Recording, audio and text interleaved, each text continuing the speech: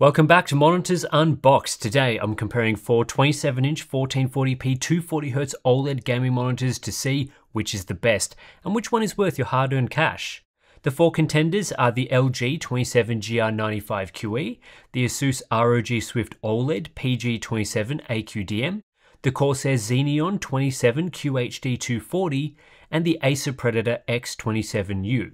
I've extensively tested all four of these monitors, so I'll be giving some detailed, in-depth thoughts on how they compare. These four gaming monitors all use the same LG Display W OLED panel, which is 27 inches in size and packs a 2560 by 1440 resolution. All run the panel at up to the same maximum refresh rate of 240Hz and all support adaptive sync technologies. Some are branded as FreeSync, some are branded as G-Sync compatible, some have both, but at the end of the day, you will get perfect variable refresh rate support on all of these monitors, regardless of whether you are using an AMD or NVIDIA graphics card. Whether it's branded FreeSync or G-Sync has little to no difference for current generation products. Each of the four variants has a unique design, but all follow a similar sort of template, just swapping out various elements, like the stand, to fit that company's design language. The display section across all models has roughly the same bezel size across all four edges, so the part you'll be looking at most often is pretty much identical no matter which variant you choose. The rear of each monitor uses what I like to call the central box design, which is to say there is a central section housing all the display processing hardware, which the thin OLED panel extends out from. This is true of all four models, so all of them have a nice thin appearance to the edges. As for what it actually looks like, that's a personal preference thing. All are well built models using mostly a dark plastic. The LG and Asus models have RGB LED lighting on the rear, the Corsair and Acer models do not. But I think regardless of which way you choose, you'll be getting a monitor that looks pretty good. This is also true of the stands, really a much of a muchness as to which looks the best, and all of them support height, tilt, swivel, and pivot adjustment. I do think though that some designs are more functional than others. The LG and Corsair models both have ports that stick directly out from the rear panel, making them quite easy to access. The Asus and Acer models have ports that point down. Bit of a minor difference, but I do like the easier to access ports on the LG and Corsair units. The port selection does differ across the four models. All have DisplayPort 1.4 with DSC offering the full 1440p 240Hz experience. While all have two HDMI ports, only the LG model has the full HDMI 2.1 experience with 48 gigabits per second ports offering an unimpeded 1440p 240Hz. The Corsair is next best offering 24 gigabits per second HDMI 2.1, which for PC users will offer the same experience as the LG, but may not be quite as compatible with other devices. Meanwhile, the Acer and Asus models are disappointing in that they only use HDMI 2.0, which limits the HDMI ports to just 144Hz instead of the full 240Hz. There are also some USB differences. Corsair and Acer are offering USB-C input with DP alt mode, the Corsair with 65 watts of power delivery, the Acer with 90 watts, so both of these models are better for single cable laptop usage. Corsair also offer four USB-A ports in a hub, which is the most of any model, the other three have just two port Type A hubs. On top of this, the Corsair and Acer models have a KVM switch built in, while the LG and Asus do not. Three of the four models use a directional toggle to control the on-screen display, those being the Acer, Corsair and Asus variants. The LG model instead opts for a remote, omitting easy-to-use controls from the display housing itself, although there are limited controls available through the buttons on the unit. The Corsair variant also has a neat proximity sensor that pops up a handy guide on the screen so you can find where the OSD controls are easily. As for OSD features though, there's no real standout here. The range of gaming features is very similar across each model, although there are some color control differences I'll talk about throughout the rest of this comparison. All four variants use the same panel, and this includes the same use of a matte anti-glare coating. At the moment, there is no glossy variant on the market, but honestly, the matte finish is fine here. It works well for reducing mirror-like reflections in brighter environments, and it still preserves OLED black levels at other times. It is on the heavier side though, which some people may dislike, but again, it's the same on every model, so if you want this overall hardware package, you're stuck with it. Similarly, you're stuck with the RWBG subpixel layout on every model. Text rendering looks the same across the four, limited by this unusual layout, and ultimately I don't think any of these products are great for text clarity. And due to the use of OLED technology, every model is susceptible to permanent burn-in, so there's no variant here that is highly suited to productivity usage. I generally would not recommend any of these for desktop app usage with long periods of static content on screen, but all are perfectly fine for content consumption where the subpixel layout and burn-in concerns are non-issues. What is interesting to note is that Corsair are the only company to offer a burn-in warranty for their unit. LG, Asus, and Acer have all declined to cover burn-in as part of their warranty, so if you want the best peace of mind, Corsair are offering that. Motion performance is very similar between these four W OLED monitors, so if you are wondering about response times and motion clarity, there's really not much separating these models as they all use the same panel. The LG variant has a little more overshoot than the other three, but this is very difficult to spot outside of lower refresh rate gaming. The Corsair, Acer, and Asus models deliver effectively identical performance and all offer an outstanding experience for 240Hz refresh rate gaming. Simply put, speed is not going to be a deciding factor between the four variants. Similarly, input lag won't be a deciding factor because again, all four models deliver effectively the same experience, whether we're talking SDR or HDR latency. There's just a 0.2 millisecond difference in measured latency between best and worst, which is basically identical. I should also mention here that none of these models support black frame insertion, so there's no way to produce a strobed-like image for increased clarity. For color quality, as all use the same W OLED panel, we're faced with the same color space coverage, 97% DCI-P3 and about 72% Rec 2020. No differences here between the models. What does differ is factory calibration. Out of the box with no setting adjustments, the Acer and Corsair models are significantly more accurate for grayscale than the LG and Asus models. LG and Asus ship with a noticeable blue slash cold tint, whereas the other two variants get much closer to the accurate 6500K point for SDR sRGB content. This leads to much better delta E's for the Acer and Corsair units. This does have a small impact for saturation too, but all four models do not ship with an sRGB clamp enabled by default, so they are all oversaturated to a similar degree. All four models also come with an sRGB mode. For grayscale delta E's, the best model is the Corsair 27QHD240, followed by the Acer, LG, and Asus models all in a similar position. For color checker, we have the Acer model slightly superior to the Corsair, then a gap to the Asus variant, and another gap to the LG variant. So if you are planning on using this for SDR desktop usage, the Corsair and Acer variants are the ones to look at with a preference for the Corsair. With that said, all four models can be calibrated using software and doing so will deliver very similar results. The LG has an edge here in that it also supports hardware calibration through their PC app, although results from this aren't as good as a proper software calibration and it requires additional hardware, but it is a feature that's supported and unique to that model. One of the main differences between the four models is brightness, and this first appears when looking at SDR brightness. The Asus PG27AQDM is far and away the best model for desktop app usage in brighter environments, as it can reach a peak of 240 nits. Admittedly, it's not super amazing, but it's around 23% brighter than the LG model, which sits at 198 nits. Much worse than both of these models are the Acer and Corsair units, which only sport 130 to 140 nits of brightness, making them not very suitable for people that like a bright monitor. For Acer, this is compounded by the inability to disable the automatic brightness limiter, which means that brightness will constantly change as you move around and resize desktop apps, which is very annoying. On the Corsair and Asus models, there is a setting you can enable called Uniform Brightness or something to that effect, which disables this behavior and restricts brightness to what you're seeing in the chart. The LG model has no ABL at all, instead permanently capping SDR brightness to around 200 nits. If you want to use your monitor in a super dark room with minimal levels of brightness, the Acer and LG models are the best, with the Asus and Corsair also offering decent though not quite as good results.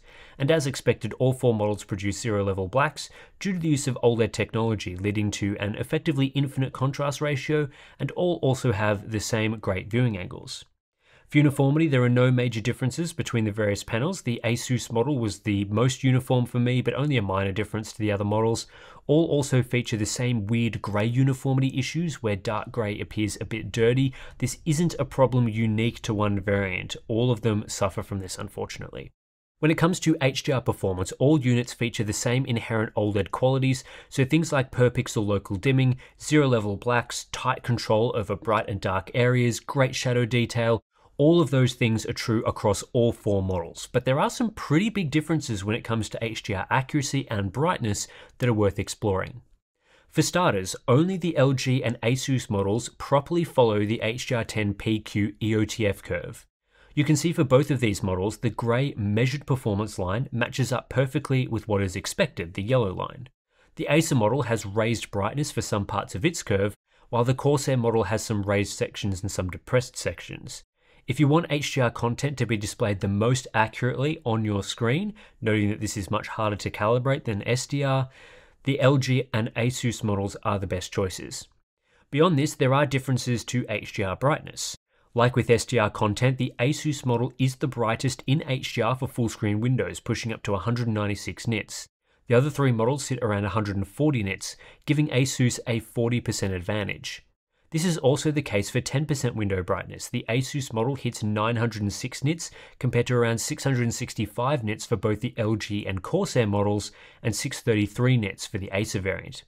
The end result is that the Asus model is much brighter than its competitors for HDR content. We can see this difference laid out when looking at brightness versus window size. And it's not just in synthetic tests that the Asus model is the brightest. This is also true while gaming. I recorded 850 nits in a real world gaming scene on the Asus, compared to 616 nits on the Corsair, 591 nits on the Acer, and 585 nits on the LG. Again, this is around a 40% advantage to Asus. The Asus model isn't always brighter, but more often than not in our real world testing, this was the case. Some models also have some annoying quirks when it comes to HDR. For example, when switching between SDR and HDR modes, the Acer model requires you to change a setting in the OSD every single time for the best experience, when really these settings should switch automatically. If you're using the uniform brightness setting with the Corsair model, you'll need to turn that off manually when switching into the HDR mode again every time, both the LG and Asus models require firmware updates for the best experience, although all four variants support firmware updates. So I guess some of these things, especially for the Acer and Corsair models, could be addressed in a future update. Having looked at all four 27-inch 1440p 240Hz OLED gaming monitors in depth now, there's only a handful of differences between each unit. This is to be expected, they all use the same WOLED panel from LG Display, but there are enough differences to make a definitive call on which model is the best, at least in my opinion. So here's how I would rank these four models from worst to best.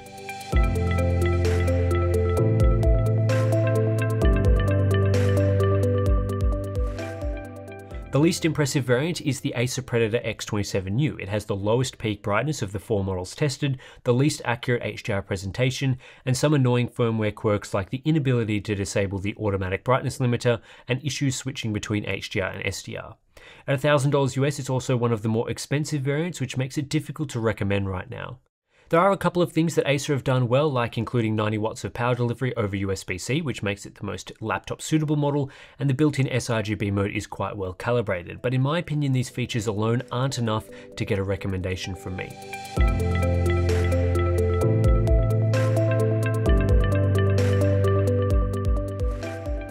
I have the Corsair Xeneon 27QHD240 in third position. Its brightness is similar to the Acer model, which is to say it's not very impressive, and it also suffers from some HDR accuracy issues, but it has fewer firmware quirks and the automatic brightness limiter can be disabled. It's the most well featured of the four models in terms of ports with HDMI 2.1, USB-C with 65 watts of power delivery and a 4-port USB hub. Its factory calibration for SDR content is also very good, well ahead of the LG and Asus models. Perhaps the biggest unique feature in favour of the 27QHD240 that might sway you is that Corsair are the only company offering burn-in coverage with their warranty. With the price recently coming down to $900 US, I think the Corsair model is worth considering. It's definitely not a bad offering, but I just can't put it any higher in my rankings.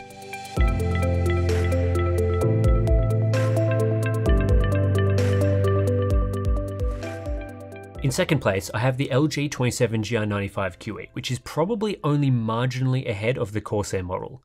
What the LG product does well relative to the Corsair is it offers a higher level of SDR brightness and better HDR accuracy, although overall HDR brightness is similar. It's the only one of the four models with full bandwidth 48 gigabits per second HDMI 2.1 ports, and it's the only to come with hardware calibration support. It's also competitively priced, sitting at $900 US regularly these days, with the occasional sale putting it down as low as $800. At that price, it's very hard to ignore. However, there are some trade-offs here that prevent the LG from being placed any higher. For example, it's not as well calibrated in the SDR mode as the Corsair or Acer variants, and it doesn't have a USB-C input or KVM switch. It has slightly more overshoot at lower refresh rates than the other models, but the big killer is overall brightness. The Asus model really can't be matched in that area.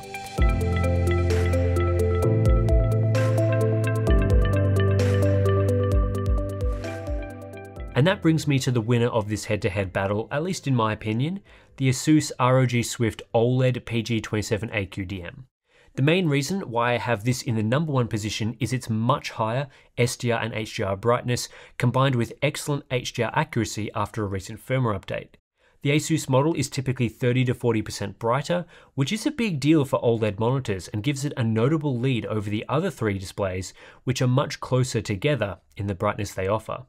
This additional brightness may lead to faster panel degradation, so it's annoying ASUS don't provide burn-in coverage in their warranty, but if you use the monitor as intended for gaming or other content consumption, I don't expect this to be a big issue over a reasonable lifespan. The Asus model doesn't have any major issues that would make me hesitant to recommend it, certainly not on the level of the Acer model's firmware frustrations, but it doesn't do everything better. For example, it only has HDMI 2.0 and no USB-C input, its SDR factory calibration isn't great either and lacks the hardware calibration feature of the LG, but at least to me these aren't deal breakers and don't outweigh the superior level of brightness. The biggest factor you'll have to weigh up is the price. Asus are keeping this monitor priced at $1,000 US, which is around 100 to $200 more expensive than the LG, depending on the day. In other regions, it's pretty common to see a 20% premium for the Asus version over the LG, which definitely adds some competition to what would otherwise be a slam dunk victory for Asus if they were all still at their $1,000 MSRP. I think the Asus model is worth the extra cost, especially if you're a high-end buyer, but if the 27GR95QE remains close to $800, that price is quite tempting. A $200 difference is quite a bit of money, so plenty to think about there for sure. Anyway, that's it for this comparison video between these four W OLED gaming monitors. If you want to learn more about any one of these individual products, we do have reviews for that over on the Monitors Unboxed channel, which actually is this very channel. So you can watch all four of those reviews, get the full in-depth thoughts on each of them. The LG and Asus monitors also have firmware update videos, which add a little bit to those reviews. A few extra things have happened with those firmware updates, so it's well worth checking out those updated videos as well. But those firmware updates were factored into this video, so should be the current performance you can expect from all of those products. If you are interested in buying one of these, links to those are in the description below. They'll give you updated pricing as well. And if you do want to support uh, independent testing and the Monitors Unboxed channel, please do consider subscribing, going down in the description below, checking out our Discord, Patreon, or actually our Patreon and Floatplane accounts, which give you access to Discord if you want that as a feature. Um, yeah, lots of stuff down there. Thanks for all the support. Thanks for watching, and I'll catch you in the next one.